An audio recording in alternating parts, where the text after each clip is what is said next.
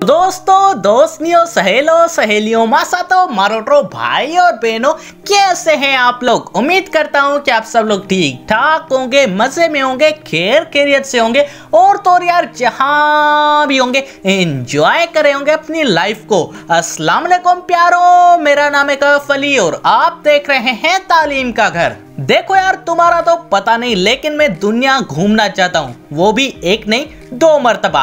एक फैमिली के साथ, दूसरा अगर ना भी हो तो खेर है, लेकिन अगर हो जाए तो बढ़िया है। दूसरा फ्रेंड्स के साथ। मेरी सादगी देखो मैं क्या चाहता हूँ। बस दो मरतबा दुनिया घूमना चाहता हूँ। वाह वाह वाह वाह वाह। हाय हाय, मैं सदके जमा अपने शायराना अंदाज था।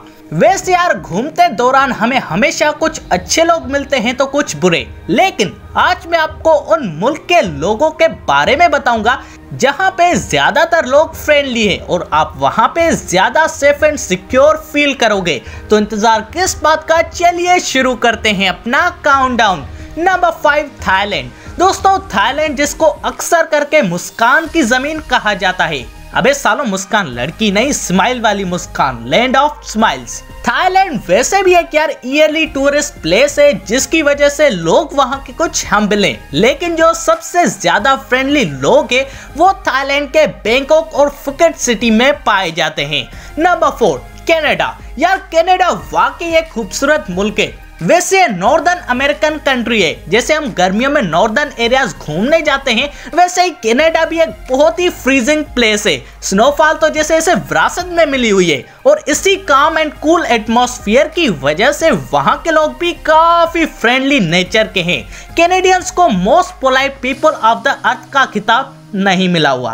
पर पर पर पर, इन्हें फिर भी most polite people on the earth कहा जाता है।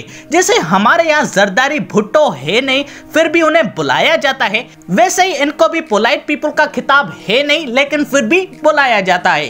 क्या बढ़िया था गुरु। नंबर थ्री साउथ अफ्रीका दोस्तों साउथ अफ्रीका का केप टाउन जो कि तकरीबन यूरोपियन विजिटर्स से भरा हुआ होता है और मोस्टली यूरोपियन वहाँ से खुश मिजाज और लुत्फानंदोज होके निकलते हैं साउथ अफ्रीकन के फ्रेंडली होने की वजह से। वैसे सिर्फ़ केपटाउन ही नहीं, बल्कि पूरा साउथ अफ्रीका ही यार फ्रेंडली नेचर का है। फिर भी यार ये याद रखना, पाँचों उंगलियाँ हमेशा बराबर नहीं होती। वैसे जिनको समझ नहीं आया तो भाई तुम अब भी करो। वैसे यार मैंने फ्रेंडली पीपल पे एक और वीडियो बनाई हुई है, ऊपर आई बटन पे लिंक आई ना? हाँ वही। और अगर चली गई तो टेंशन ना लो। तो डिस्क्रिप्शन में मैंने लिंक रखी हुई है तो सुकून डॉट कॉम से ये वीडियो पूरी देखो और बाद में वो देख लेना। Number two New Zealand. दोस्तों, न्यूजीलैंड जिसे के कुदरती मुस्कान से बना हुआ है। समझ के ना?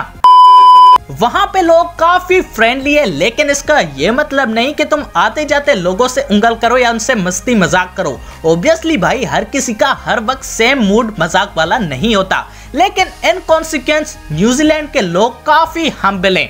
नंबर वन ऑस्ट्रेलिया वैसे यार जो जो मुल्क फ्रेंडली मैंने सोचे थे, वो तो है ही नहीं। जैसे कि पाकिस्तान, इंडिया, ईरान या एक दो और। चलो, कोई नहीं, शायद वाकई हम टूरिस्ट के लिए अच्छे ना हो। चलो, इस बात का तबसरा हम किसी का भी और दिन करेंगे। लेकिन जो आज की काउंटडाउन लिस्ट में दुनिया का फ्रेंडलीस्ट कंट्री है, वो ऑस्ट्रेलिया है। और अगर आप टूरिस्ट बन के ऑस्ट्रेलिया घूमने जा रहे हो तो भाई, और क्या चाहिए? वहाँ के लोग अच्छे एटमोसफियर अच्छा और तो ऑस्ट्रेलिया घूमने के हिसाब से भी अच्छा।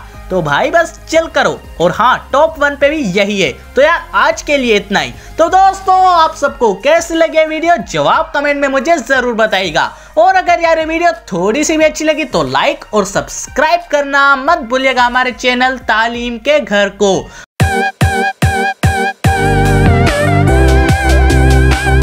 और दोस्तों, इसी के साथ अपने भाई को दीजिए इजाज़त। अल्लाह हाफिज।